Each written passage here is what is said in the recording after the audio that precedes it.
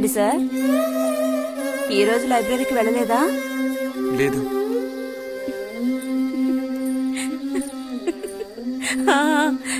ఆ, రోజేంటి? పెద్ద విభూతి పెట్టుకుని తపస్సు చేస్తూ కూర్చున్నావు. ఆ రోజు అడగాలనుకున్నాను. దేనికోసం తపస్సు చేస్తున్నావా అని. వశీకరించడానికి? ఎవరిని? ఎవరిని వశీకరణ చేసుకోవడానికి? నిన్ని రతే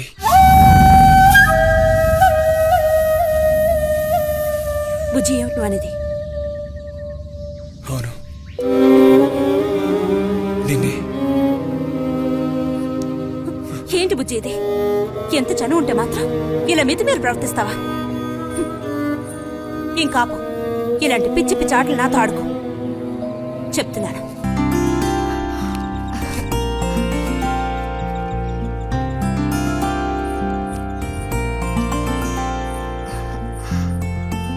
ఎప్పుడొస్తున్నారంట?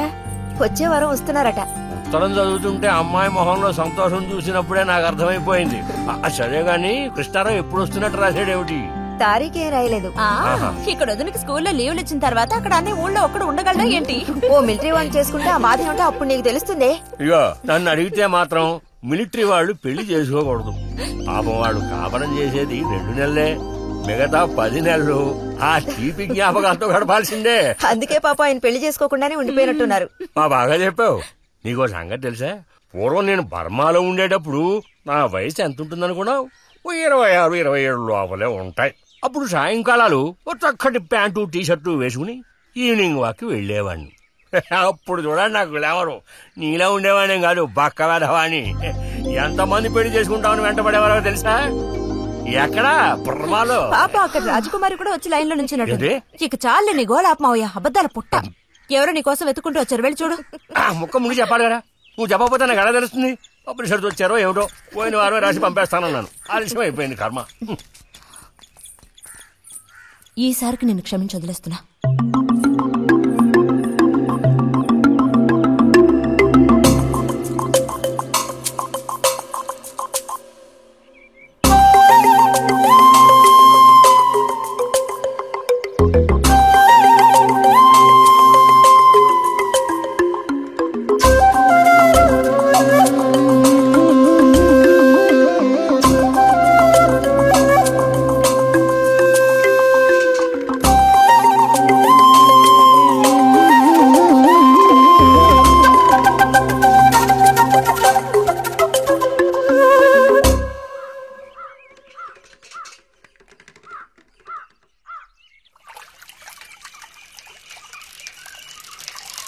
బుజ్జి? ఇదిగో ఇక్కడ. బుజ్జి.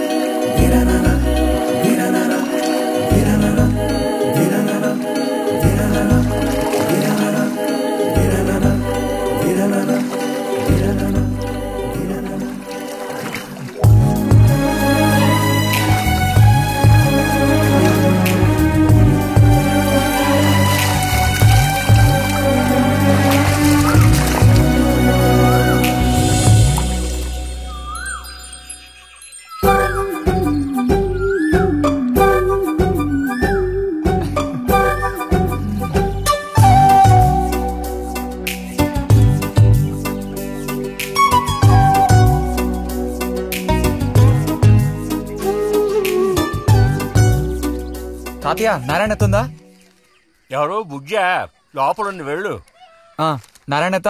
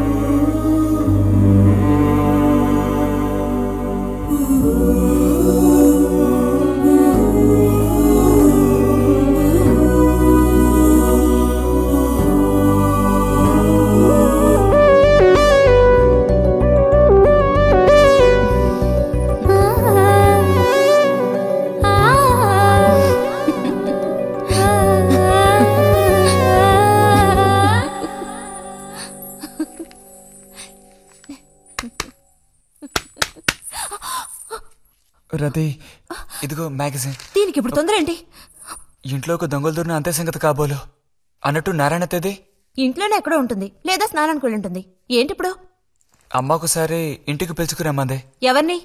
నిన్ను కాదులే నారాయణత వాళ్ళని. ఎందుకని? ఆ, అది ఇంట్లో ఏదో విశేషం అంట విశేషమా? ఆ, ఏదో ఉందంట. ఏంటి అంత పెద్ద విశేషం? మ్, శాంతి ఉంది కదా? ఆ. అదే మన శాంతి. ఆ అవును శాంతి. ఆ, శాంతి ఆ, త్వరగా చెప్పు బుజ్జి. నేను నీ చెవిలో చెప్తాను. ఉమ్, ఆ, శాంతి శాంతి ఉంది కదా. ఆ, శాంతికి విశేషం.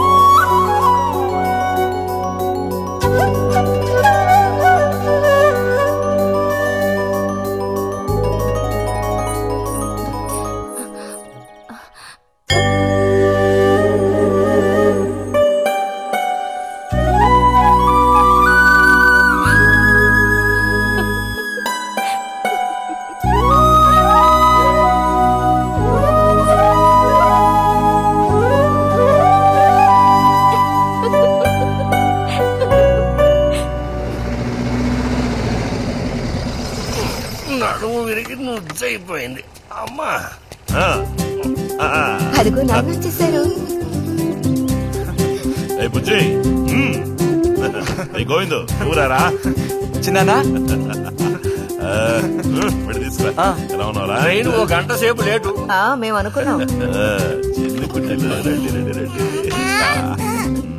ఇదేం పెద్దగా పెరగలేదే. పోయినసారి వచ్చినప్పుడు ఇలాగే ఉంది. దానికి ఏం చేయమంటావు? పట్టుకుని సాగదీయమంటావా పదండి పదండి లోపల పదండి. రండి రండి.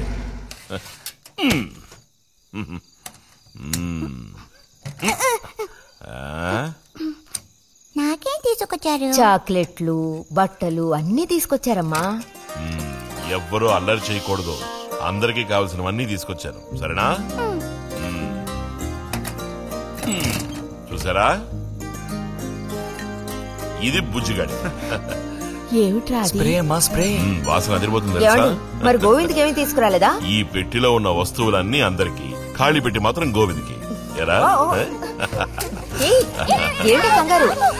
ఏ గొడవ పడకుండా తీసుకోండి. సరేనా? ఆ.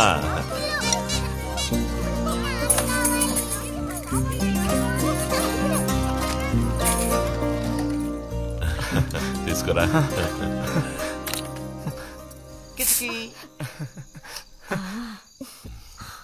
అరే ఏమిటండి అబ్బా, వదలండి. సిగ్గేస్తుంది. దగ్గరికి రా నీకు మరీ వదలండి.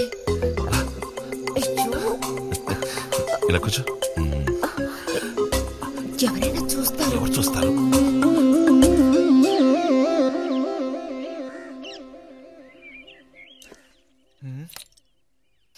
మంచి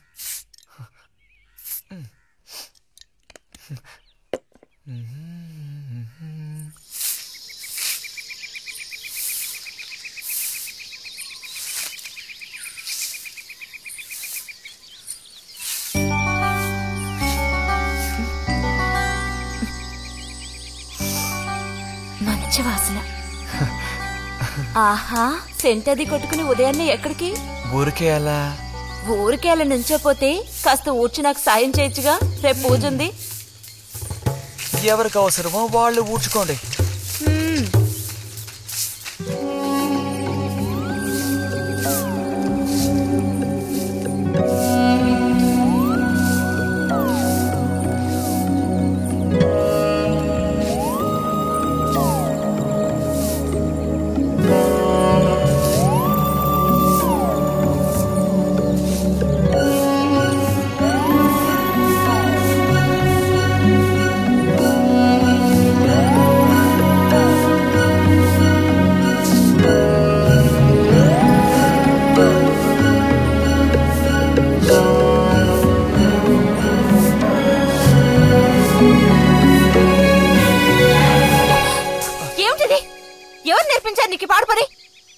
ఎవరూ నేర్పించలేదు. మరి? నా అంతటి నాకే తోచింది. ఛే! నీకు ఇలాంటివి కూడా తోస్తాయా? వెళ్ళి మీ అమ్మతో చెప్తానుండు.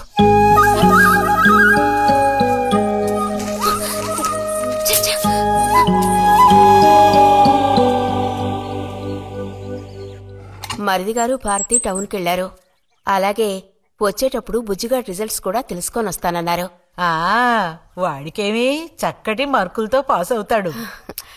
అది నిజమే. అందులో నాకే అనుమానమూ లేదు.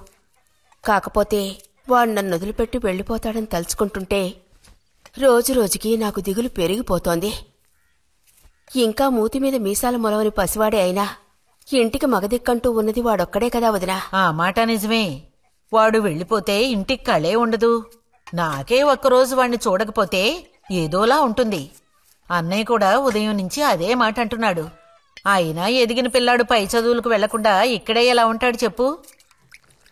ఇదిగో ఇది ఉందే దీనికి ఎవరినో ఒకరిని చూసి ఆ మూడు ముళ్ళు వేయించి కాపురానికి పంపాలి. ఆ శుభకార్యం కాస్త అయితే ఇక నాకంటూ ఎవరున్నారు? దిక్కు మొక్కు లేందాన్ని అవుతాను. రెండు మూడు రోజులుగా వాడు ఏదోలా ఉంటున్నాడు వదినా. ఎప్పుడూ రూములోనే కూర్చొని తలుపేసుకుంటున్నాడు. భలే దానివే. వాడికి మాత్రం బాధగా ఉండదు. అయిన వాళ్ళని స్నేహితుల్ని వదిలిపెట్టి పుట్టిన తర్వాత పొరుగురు వెళ్ళడం ఇదేగా మొదటిసారి.